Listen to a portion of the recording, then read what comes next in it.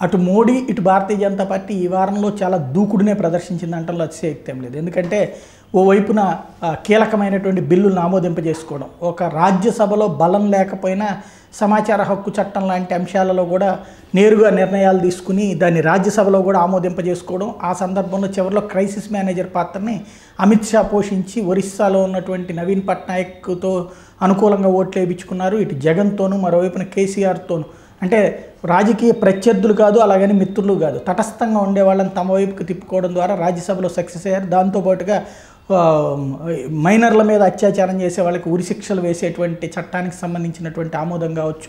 ఇంకోవైపు చూస్తే కార్గిల్ దివస్ లాంటి కార్యకలాపాలలో పెద్ద ఎత్తున జాతీయ భావన పెంపొందిస్తూ పార్టీ యాక్టివిటీ వైపు కూడా దాన్ని ప్రమోట్ చేసుకునేటువంటి కార్యక్రమం కావచ్చు. త్రిబుల్ తలాక్ లాంటి అత్యంత ముఖ్యమైన బిల్లుని భారీ మెజార్టీతో ఆమోదింపజేసుకుంటూ ఆ సందర్భంలో దూకుడు ప్రదర్శిస్తూ అభ్యంతరాలు వ్యక్తం చేస్తూ తప్పుడుగా మాట్లాడినటువంటి నేతల్ని నిలదీస్తూ రాజకీయంగానూ సక్సెస్ అయింది. అటు పాలనపరంగానూ సక్సెస్ అయింది. దాంతోపాటుగా పార్లమెంటరీ కార్యకలాపాలను మరొక పది రోజుల పాటు పొడిగించడం ద్వారా పాలనే ప్రథమ ప్రథమ ప్రాధాన్యం రాజకీయం ద్వితీయ ప్రాధాన్యం అన్నటువంటి కోణాన్ని ప్రొజెక్ట్ చేసుకోవడంలో సక్సెస్ అయింది. అటు కాంగ్రెస్ పార్టీ వైఫల్యాల్ని ఎండగట్టడంలో కాంగ్రెస్ పార్టీని నిలదీయడంలో అటు కాంగ్రెస్ పార్టీకి లీడర్షిప్ కొరత అనేటువంటిది కూడా భారతీయ జనతా పార్టీ లీడర్షిప్కి ఉపయోగపడుతుంది. ఇంకోవైపున చంద్రయాన్ టూ సక్సెస్ దాని తర్వాత ఆదిత్య ఎల్ వన్కి ప్రిపేర్ కావడానికి తగినటువంటి పరిణామాలు. ఇది కూడా ఈ వారంలో అంటే మోడీ చేసేసారంటే మోడీ అనే ప్రభుత్వం ఎవరు పవర్లో ఉంటే వాళ్ళ సందర్భంలో జరిగేటువంటి కార్యకలాపాలు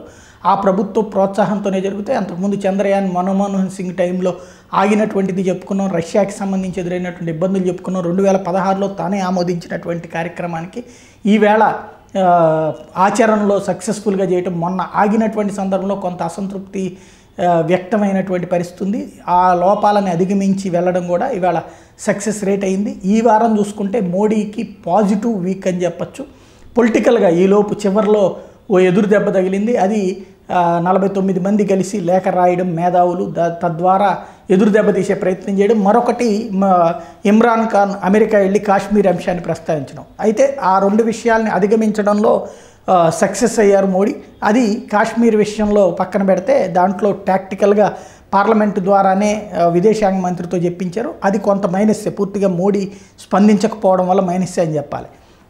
కానీ ఆ తర్వాత జరిగినటువంటి పరిణామాల్లో ఏదైతే ఇతర పరిణామాలకు సంబంధించినటువంటి వాటిలో మోడీ వ్యవహరించినటువంటి దూకుడు వ్యవహార శైలి రాజ్యసభలో కానీ లోక్సభలో కానీ పార్టీ పరంగా చేసినటువంటి యాక్టివిటీ కొంత ఫెచ్చింగ్ అయిందని చెప్పుకోవచ్చు. అది ఎస్పెషల్లీ విదేశాంగ విధానానికి సంబంధించినటువంటి దాంట్లో తీసుకుంటున్నటువంటి చర్యలని వెనక నుండి తెర వెనక నుండి వినిపించడం ద్వారా. ఎందుకంటే మోడీ మాట్లాడితే అది ఆటోమేటిక్గా అవతలోళ్ళని అడ్వాంటేజ్ తీసుకోవడానికి అవకాశం ఉంటుందని చెప్పేసి మిగతా కన్విన్స్ చేసేటువంటి ప్రయత్నంలో సక్సెస్ అయ్యారు. అంతర్జాతీయంగా అది ఒక రకంగా ఎదురు దెబ్బ తగిలేటువంటి సందర్భంలో కవర్ చేసుకునేటువంటి ప్రయత్నంలో కొంతమేర సక్సెస్ అయ్యారు. అది పూర్తి సక్సెస్ అనడానికి మాత్రం అవకాశం లేదు.